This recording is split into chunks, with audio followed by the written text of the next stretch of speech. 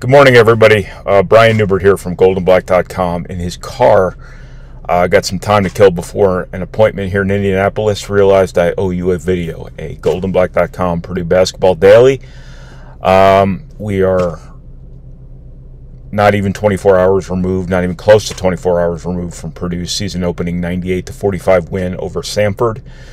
Uh, just figured I would uh, cut a quick little video here talking about Purdue's newcomers and the first impression they made, albeit in a game where uh, the opponent was obviously overmatched. Um, I think that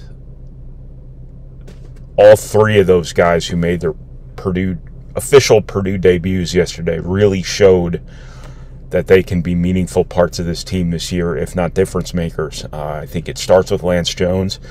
I think Purdue opened up with an opponent that was going to put some backcourt pressure on Purdue, and I think Lance Jones' quickness in the open floor really, really was a game changer for Purdue against an opponent like this.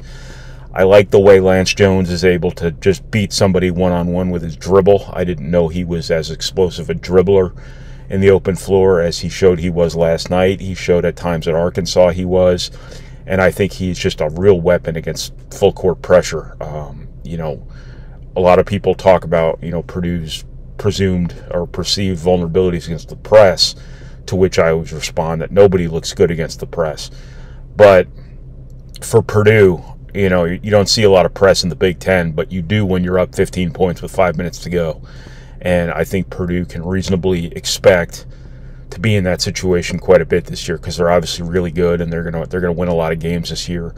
Uh, many of them one-sided, so I think it is important for them to be conditioned to handle backcourt pressure um, as much as possible. And I think Braden Smith, Lance Jones, and Fletcher Loyer really give them a nice combination. Ethan Morton did some really positive things too last night. Again, against an opponent that is not does not represent enduring reality the rest of the season. So that's Lance Jones. I think he's going to be a really good player for Purdue defensively. I think he he's going to give them more offense than I think you know maybe uh, we might have expected. Um,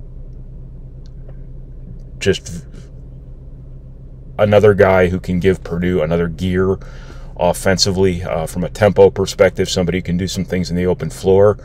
He shot the ball pretty well um, to this point. I think that you know his volume is going to probably level off in time um, as we it gets deeper into the season. The opponents get better, the scouting reports get more detailed, things like that. But an excellent two-way addition uh, for Purdue here, and a player who I think we're going to look at here in a couple months as the perfect recruit at the perfect time for Purdue. They got everything they needed. Um, in that specific vacancy they had to fill through the transfer portal. So Lance Jones, first off. Second of all, Camden Heide.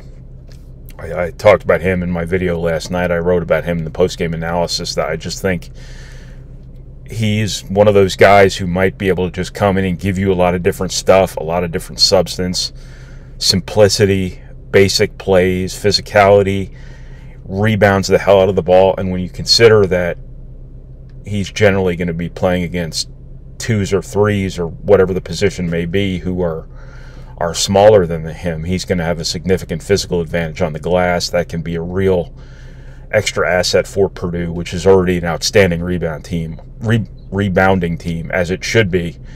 Um, makes an open shot, uh, athleticism in the open floor.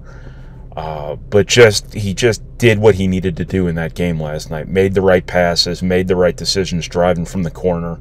That corner, I'm telling you, is going to be a really important part of Purdue's offensive mix this season. Whether it's Camden Heide, whether it's Myles Colvin, whatever, their decision making on whether to pull and shoot, whether to drive, whether to pass, it's going to be really, really important to Purdue. And Camden Heide, to this point in this season, has done a really nice job with that part of it. Obviously uh, very small sample size to this point, but um, yeah, that. Uh, I'll, I'll, have a more detailed review of the game later on our site at goldandblack.com. I'll kind of break down that little corner thing that I'm going to be obsessed with all season long. Um, and then Myles Colvin, obviously. I think Myles Colvin is the sort of guy who just has the ability to come in and just come in off the bench and just score and just give you that second team instant offense microwave for you 80s Pistons fans. Um, sort of score. You're going to see games this year where he's going to come in, play five minutes, and score seven points and change a game. You know, you might also see games where he comes in for six minutes and goes 0 for 5, and uh, you're going to have to uh, just kind of weather that. That's what you have to do with talent sometimes. He's going to make mistakes. Uh, all freshmen do, but he's also going to uh, flex those muscles at times too, and uh, really, really uh, give Purdue a shot of offense off the bench at times. And uh, I, I, just think as he gets more and more experience, he becomes a guy who maybe becomes, I don't want to overstate this, but maybe a focal point type of guy on that second team when you need scoring. You need somebody to make a shot for you that you can run a play for him, try to get him an open three, whatever, and uh, just get some offense. One of the stories of Purdue's season here, it's the reason Trey Kaufman-Renn is sort of being crowbarred into the four here. Uh, is that Purdue just wants needs more scoring options, needs more guys who can put the ball in the basket, and Myles Colvin is that guy straight out of Central Casting. You're going to have to live with his growing pains early in the season, but if you get him up to speed by the middle of the Big Ten season and obviously the NCAA tournament, you might have a real weapon coming off the bench for you here, and that's an unbelievable luxury to have so that's kind of that's kind of the, the first impression here Lance Jones, Camden Heide, and um, Myles Colvin. I guess Will Berg counts as well. I, am not really throwing him in the same bucket as those other guys. I love to put players in buckets. I, I don't know how I get them in the buckets, but they must be very large buckets. Anyway, I tend not to put him in the same category as other guys because I don't expect Will Berg to really play a rotational role this season. I don't think Purdue needs him to. They can essentially redshirt him again. But every time this guy plays, he seems to do more and more things to show you real promise. Uh, Purdue might really have something on its hands here that they can develop, that they can, you know, continue to take their time with, and might have something down the line here. He moves well for a big guy. Following that surgery, he, he's finishing around the basket better than I ever thought he would uh, after that the first time I saw him, I didn't think he'd ever played basketball before. He was so out of out of shape, you know, before coming over from Sweden to the U.S. and uh, just looked so raw. But he does really good things. He looks good shooting the ball. Uh, he looks good moving. He looks good rebounding. He just does a lot of positive things, and you know, he's obviously much more prospect than he is player.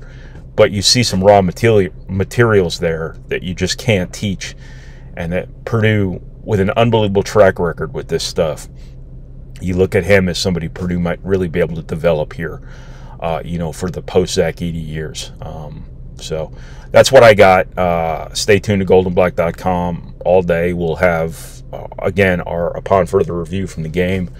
We'll cut out some video clips. I'll try to keep it as simple as possible. I always, always do. So um, just stick with us here. We'll, we'll continue to have stuff throughout the week uh, on Purdue basketball and, and whatnot. And uh, be sure to, uh, if, if, you haven't subscribed to our site, uh, now's a pretty good time. Uh, there's no bad time, if you ask me, but I am biased. So that's what I've got from the driver's side seat of my car here in Indianapolis. So this has been your goldandblack.com Purdue Basketball Daily. Uh, we will talk to you again tomorrow uh, about something at some point. So next game's Friday, so ha- have some have some air time to kill here. So thanks everybody.